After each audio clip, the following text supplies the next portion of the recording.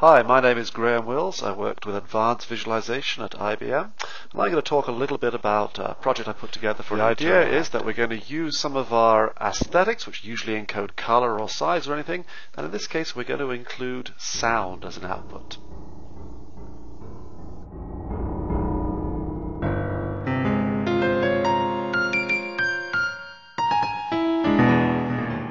Same variable is being used for the pitch as for the y-axis, so the higher up on the chart, the higher the note.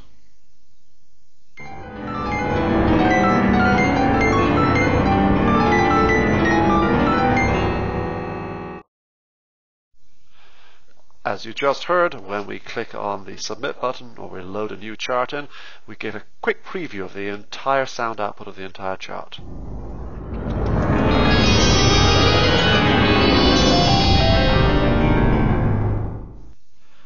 Most charts, the data runs from left to right and the sound also goes from left to right. In this chart, as well as pitch, we have also encoded a categorical variable to give a different instrument.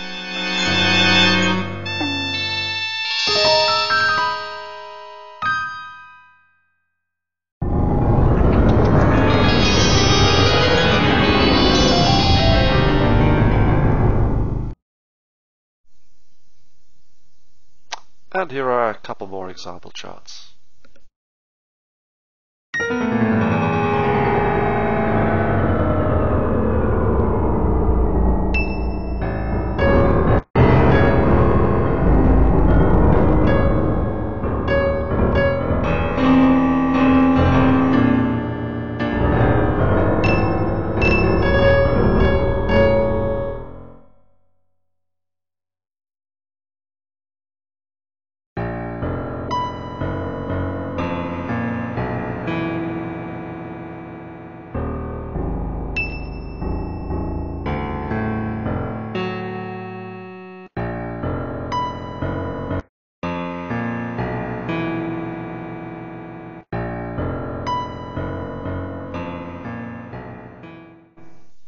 In this final example, I'm showing a dataset consisting of the play 12 Each rectangular bar encodes a block of text by one of the jurors.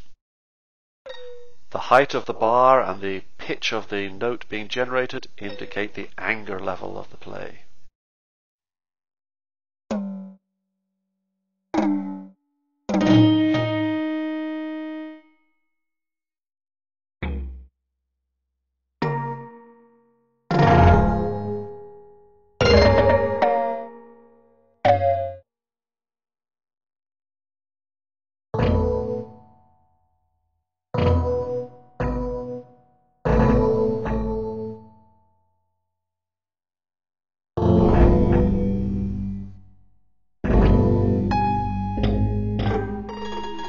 Here is the sonification of the entire play in just a few seconds.